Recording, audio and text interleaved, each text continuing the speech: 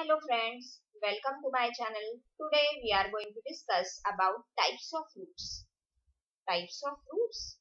Yes, the types of roots. We know that the roots can perform different types of functions, but there are different types of roots also. See that the whole world it is occupied by the different number of plants there are so many variations in the plant. So that variations are also observed in the roots also. That's why today we are going to discuss about the types of roots. In this topic we are going to discuss about what are roots what are the functions of roots and what are the different types of roots so first we see what are the roots. So everyone we know that roots are the underground part of the plant. Basically these roots they are present inside the soil and most of the vascular plants they show presence of roots. These roots, they are responsible to absorb the nutrients, to absorb the water from the soil and the absorbed nutrition. The function of root is that absorbed nutrient, it also transport to the stem region, leaf region. So these roots are most important parts of the plant. Without roots, the plant cannot stand on the ground. Along with that, there are some roots which perform the function to store the food. For example, sweet potato, beetroot. So they are called as an storage roots which store the nutrition so see that what are the roots? So roots are basically the underground parts of the plant.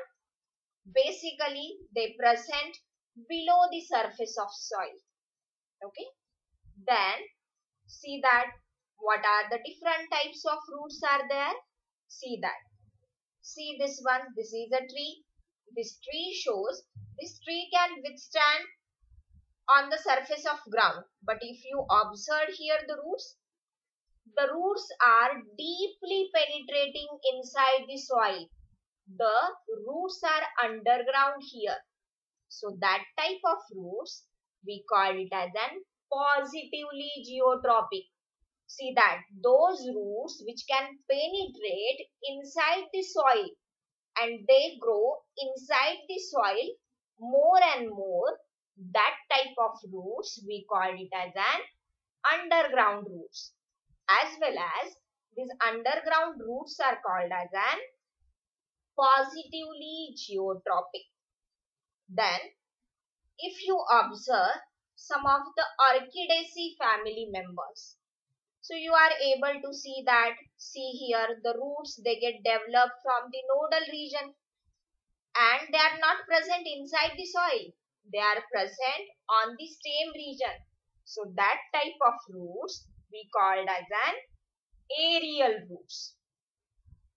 These aerial roots are also called as an negatively geotropic. Why they are negatively geotropic? Because they does not grow towards the earth. That's why they are called as an negatively geotropic. So these are the main two roots. See that the underground one and aerial roots one. Then we see what are the different types of functions which is performed by the roots.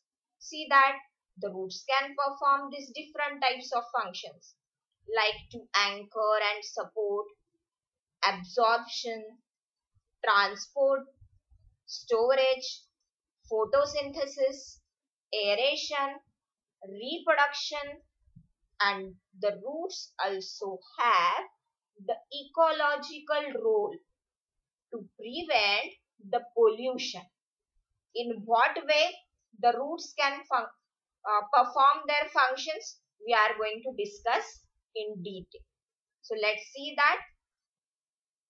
See here that the first function of root is to give anchor and support. So see that you are able to see the huge trees which are present on the ground. So what, what, what do you think that how these trees they can withstand like this one? So see that as the trees are very huge but see here the roots they get deeply penetrate inside the soil that's why these roots can give strength to that plant to withstand during the bad environmental conditions. So see that the roots perform very important fun function to support the plant. Okay, that's why many plants they can stand erect for thousands of years. Okay, because their roots are very deep and they are deeply penetrate inside the soil. So this is the most important function of the root that is to provide the physical support to the plant. Then next we see what is the next function? See that absorption and conduction. So see that as the roots they get penetrate inside the soil, the soil it is rich in nutrition. Okay? So whatever the nutrition which is present in the soil it is absorbed by the that roots. And this absorbed nutrition they provide towards the nodal region towards the leaf region. So the roots perform very important function of absorption and conduction. Okay see that we can provide the nutrition we can provide the fertilizers to the plant. If the roots are unable to absorb that one there is no any importance to use the organic fertilizers okay? That's why the main function of the root is what? To absorb whatever the nutrition present inside the water as well as inside the soil okay? So this is the second function of the roots that is absorption and conduction. Then the third function which is performed by the roots is the roots cannot only accumulate or cannot only absorb the nutrition okay for itself but the absorbed nutrition that roots provide towards the nodal region okay towards the stem region the stem region can provide the nutrition towards the leaf region. And the leaf regions they can provide the nutrition towards the developing inflorescence. Okay? So this is a type of transport. Okay? So without the roots the transport is not possible. Okay? So the roots perform very important function to transport the nutrition mineral and water towards the developing plant. Okay. Then the next function which is performed by the roots is storage. So see that there are various types of roots which are which acting as an storage roots. So see that the there is a, uh, depending upon the type of shape the roots are going to divide into four types that is the conical roots fusiform roots napiform type of roots and tuberous roots. So see that all these four types of roots they act as a storage root. Why? Because they stores lots of water as well as lots of carbohydrates in them. That's why due to the function of storage these roots are called as storage roots. Then the next function is photosynthesis. Now you can think that how the roots are performing the photosynthesis function. Yes, because roots are underground. And how they are going to perform the photosynthesis? Because for the photosynthesis, we require the chlorophyll pigments and they are absent in the roots. So see that as we have studied in earlier slide that is there are main two types of root that is underground and aerial one so see here this is one of the example of mangrove plant. This is the example of orchid plant. And if you neatly observe here you are able to see the roots are going to develop from the upper region of the plant. So that type of roots we call it as an epiphytic roots. Okay. Means those roots which are dependent upon the other plants which are grow on the other plants basically they perform the function of aeration. Okay. They perform the function of aeration. These roots we call it as an aerial roots. And these aerial roots perform the function of photosynthesis. Then the next one that is aeration. So once again take an example of mangrove plants. So this mangrove plants, they are going to produce some special type of roots and that special type of roots, see here, that special types of roots that we call it as a pneumatophores. So what is the function of that pneumatophores? The pneumatophores diffuse the oxygen from air. That's why these roots perf perform the function of aeration and provides air to the developing tree species. Okay, that's why the roots also perform the function of aeration. The next one, see that there are some specialized roots also which can perform the function of reproduction. Okay, there are some specialized roots. See here, if you observe here the strawberry you are able to see here that there is offset type of reproduction and why it is possible? Due to the presence of that specialized roots. Okay. So that we call it as an offset shoots. Okay. Which are growing around the trunk. Basically uh, they get profuse from the roots. Okay. And they grows horizontally. Okay. And helps in the process of reproduction. Secondly, you can take an example of Zingiber officinalis. So here also the roots can perform the function of reproduction. Okay, it is a type of vegetative reproduction. Okay. Then next one, see that if you observe here the roots, how deeply they are penetrating inside the soil and if you observe here see here the soil is going to attach to that roots so what happened here due to the deep penetration of roots the roots get attached to the soil that's why the roots perform very important function they play very important ecological role to prevent the soil erosion okay to prevent the soil erosion. So this is one of the ecological role which is played by the roots. Okay.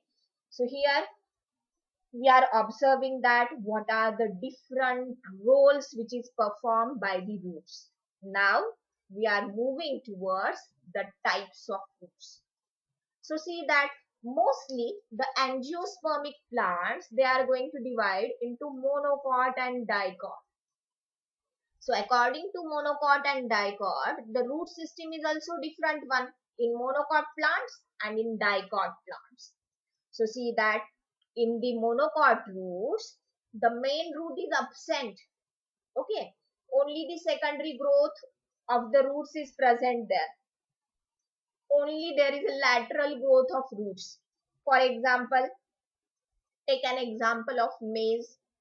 Take the example of jawar okay so all that plants they are the monocot plants and if you observe their roots so main root is absent there only the secondary growth is present then the second type of roots that is the dicot roots so those plants which are dicot one they show presence of main root and main root is laterally divided or it shows presence of lateral branching and root hairs so this is observed in dicot root. Just we see the figures. see that the first one that is the fibrous roots. So see that as I have told you that the monocot plant does not show presence of main root. So see here. These are the fibrous roots. And if you are going to observe here the main root is absent. Only the lateral growth of the root is present. So it gives the cluster like appearance of the roots. Okay. And that type of fibrous roots they are present in the mono okay so see that these fibrous roots they are cylinder one. They show presence of high branching and the primary root it is replaced by the adventitious roots. See here only the roots uh, branches are present here roots hairs are present here. And this fibrous roots they does not penetrate in the ground deeply. Okay this they does not penetrate in the soil deeply then see here the next type of roots that is the tap roots and see here what is the difference. As we have seen that the fibrous roots they doesn't have the main root. But if you observe this tap root they show presence of main root and then that main root it get bifurcated into lateral branches and root hairs. Okay so these tap roots are basically observed in dicot. Okay. These tap roots they get developed from the embryo. Okay. And these roots they are always present below the surface of soil. Okay. These roots they grow in the acropetal manner. Okay. So this is the main difference in between the monocot and dicot root. Okay so see here in the tap roots the main root is present and it further bifurcated into lateral branches and root hairs then the next type of root that is the adventitious root and see here as I have told you in the earlier slide that the main root is absent in the monocots. So see here this is the root of jawar plant. You can take an example of sugarcane plant. So if you are able to see the structure like that. So what is that one? These are the roots and this type of root we call it as an adventitious roots which are present in the monocot. So see here basically the adventitious roots they are growing from their nodal internodal region. Okay. Basically in the taproot system roots mainly get developed from the embryo from the nodal region. But here the adventitious roots they grow from the internodal region of the stem. Okay? While the main root is absent so this type of root we call it as an adventitious root then there is a next type of root that we call it as an creeping root so see here if you observe the image you are able to understand what is meant by creeping so see here these types of roots that does not penetrate deeply into the soil. Just they spread themselves on the surface of ground. Okay, just they spread themselves. Okay, horizontally. So that type of roots which are not penetrating deeply into the soil but grows horizontally for a longer distance. So that type of roots we call it as an creeping roots. Okay. Then the next type of root that is the tuberous roots. So already we have studied this one. So see that the turnip if you take example of carrot sweet potato beetroot. So all that type of roots we call it as an tuberous roots. Or you can tell them as an consider them as an storage roots you consider them as an storage roots. Okay. So these types of roots are fleshy one, enlarged one and these types of roots they are modified as a storage organ because they store lots of water and carbohydrates in them.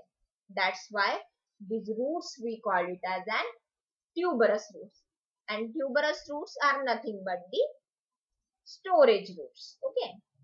Then the next type of roots that we call it as an water roots. So see that we know that there are some plants which are aquatic one. Okay. So in the aquatic plants, how these plants can grow? So see here, this plant also shows presence of roots. The roots which are present inside the water, they also perform the similar function. Okay. These roots, they have the capability to allow the oxygen from atmosphere and they get diffuse them. Okay. As well as the roots which are present in the water, they perform the function of metabolism and growth. Okay. They perform the function of absorption and whatever the nutrition it is conducted by the roots, it get transported towards the upper part of the plant above the water. Okay? So water roots are the roots which are present in the aquatic plants or those plants which are grow inside the water.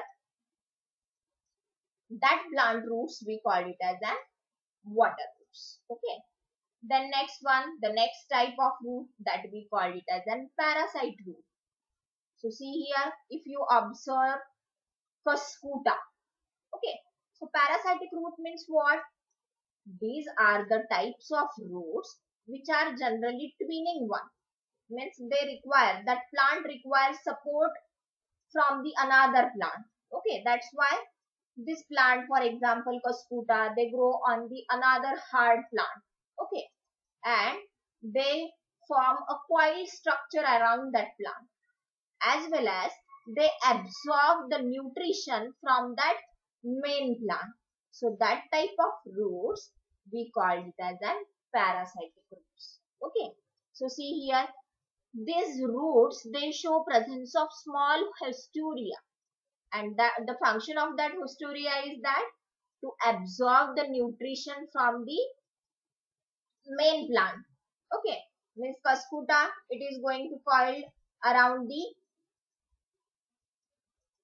or it requires a support and that supporting plant we call it as an all the nutrition to the cuscuta plant it will get its nutrition from that main plant so that type of roots we call it as an parasitic roots then see here that we are going to observe the different types of roots like parasitic roots, then tuberous roots, water roots, creeping roots, adventitious roots, taproot system. So these are the different types of roots which are observed in different types of plants. So if you like this video, please like, share and subscribe my channel. Thank you.